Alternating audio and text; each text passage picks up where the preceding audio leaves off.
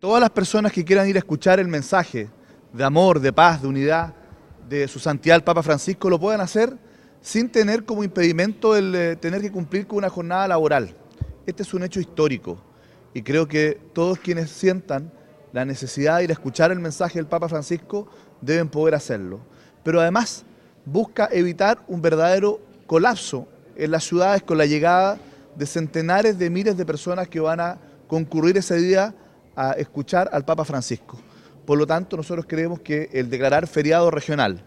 por única vez el día de la visita del Papa ayudaría a mitigar este caos en la ciudad de Iquique el día 16 de enero y en la ciudad de Temuco el día 17.